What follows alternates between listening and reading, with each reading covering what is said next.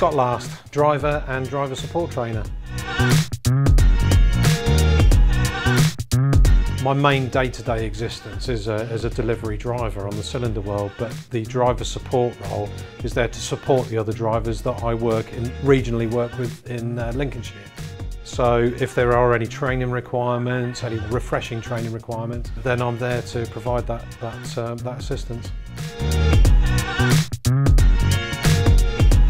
It's a really good question in the respect that you know, I'm, I'm, of a certain age, and I always say my blanket answer usually is I don't work unsafe. I wouldn't compromise my health and safety or well-being for anything.